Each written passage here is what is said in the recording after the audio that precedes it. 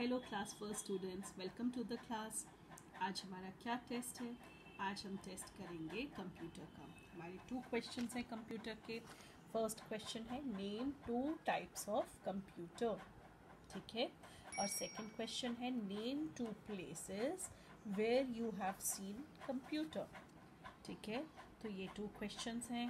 अच्छे से आप आंसर्स लिखो आंसर्स लिखकर मेरे व्हाट्सएप नंबर पे सेंड करो ओके ध्यान से नीटली अपना वर्क फिनिश करो ओके बाय